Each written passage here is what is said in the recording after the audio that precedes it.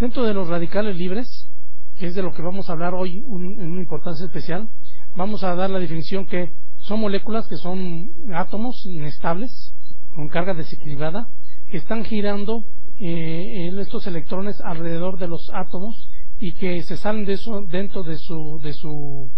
de su órbita y empiezan a dañar a otras células. Estos átomos, estos electrones, empiezan a dañar las membranas celulares, que son muy importantes porque tienen que ver con la intercomunicación celular,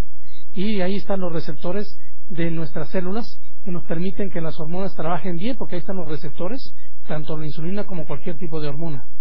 También afectan las mitocondrias, que son los que nos producen la energía, el DNA, que es el que tiene el material genético y que ayuda a que se repliquen las células cada tres meses. Esto nos causa un deterioro de todas las partes de nuestro cuerpo. Este es un átomo, este es un ejemplo de un átomo, y en el centro tenemos un protón y, y en la periferia tenemos los electrones que van girando. Cuando uno de estos electrones se sale de su órbita, tenemos un átomo normal,